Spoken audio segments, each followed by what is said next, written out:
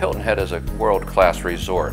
So we see the movement into Hilton Head as well as into Bluffton from those surrounding markets like Savannah. Companies that are relocating to the area are finding that we have a lot to offer. My name is Randy Fix. I'm a realtor with Gateway Realty in Bluffton, South Carolina. People want to build their dream home at their same specifications and that gives them the opportunity to find that lifestyle of community. We have great lake communities, we have river communities, we have island communities. In many cases, the only option for someone that wants to live in that particular community is to build a new home, which works out well.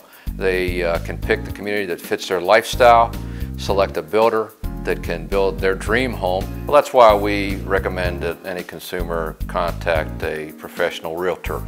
We're very aware of all of the options that they have and believe me, there are numerous. Uh, from the villas and condos for those that are looking for a vacation place to visit once a year, as well as those that they want to rent out. And there are short-term and long-term rental opportunities there as well.